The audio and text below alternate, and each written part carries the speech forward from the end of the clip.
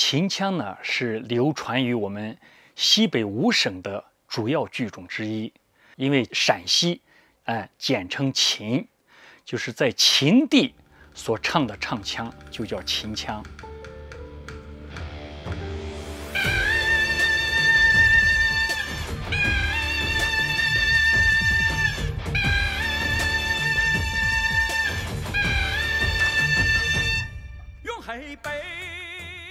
秦腔这个音乐呢，它是高亢、激越、洒脱，它正好和这个像游戏过程中这种拼杀、搏斗啊、围攻啊、智取啊、胜利，就和这些过程，我就觉得它秦腔这个剧种的音乐和它是非常合拍的，所以说说是这次要用秦腔和这个呃流行歌曲来一块结合搞这个事情，我觉得这个是。一个非常大的一个创意。嗯，第一时间的感想，首先我对这个项目充满了期待啊，因为 CSGO 我现在还在玩啊，至于它能和秦腔产生什么样的火花，我不知道啊，但是我很期待这个项目啊，因为我作为整个项目的一个作曲音乐部分设计者来讲，我希望能把。秦腔和 CSGO 这个游戏能够两个不搭嘎的东西，能把它们串在一块，而且能把它弄得非常好。尤其让玩家们一听能够，哇塞！其实这就是我的期望值。用雷击，用雷击发出正义的轰鸣。呃，这次呢，他是用这种摇滚的这种曲风。来演绎这这首歌，我觉得对我来说是一种尝试，哎，我也觉得很新奇，嗯，所以在录制的过程中呢，我非常兴奋，也有一种新鲜感啊。这次的难点呢，其实就是摇滚部分和秦腔部分的融合，这块在作曲和制作上其实都是最大的一个难题啊，因为秦腔呢。我们想把最原始的琴箱状态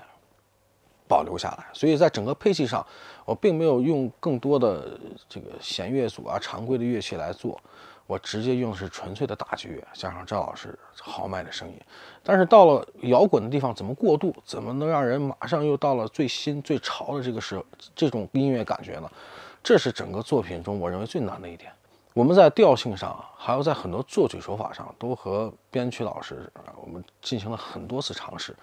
那最终这一次的版本呢，也是在这一稿之前修改过很多次了。希望这一次的尝试啊，这两个认为最难的点啊，能把它有机的、很好的把它发挥出来。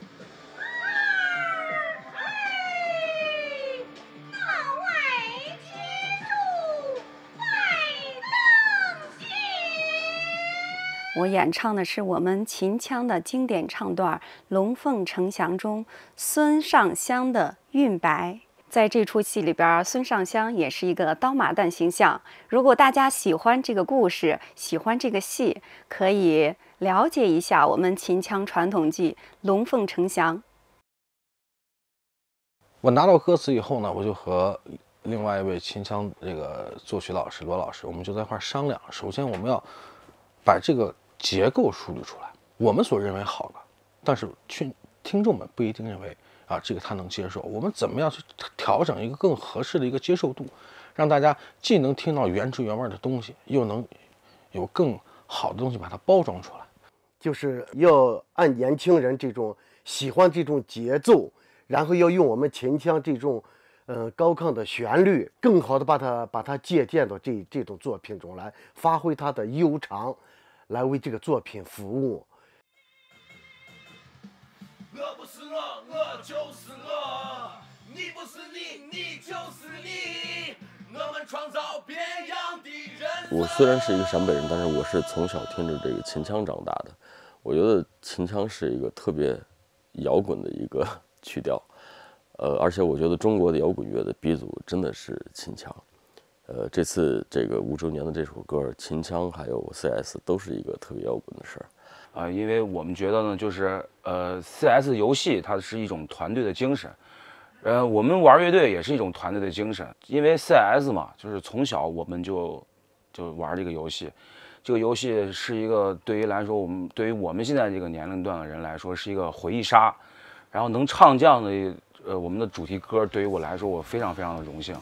因为就是可以感觉到那个时候玩游戏的一种快乐和那个时候的一些回忆。呃，随着我们国家的越来越强大，国潮是必然。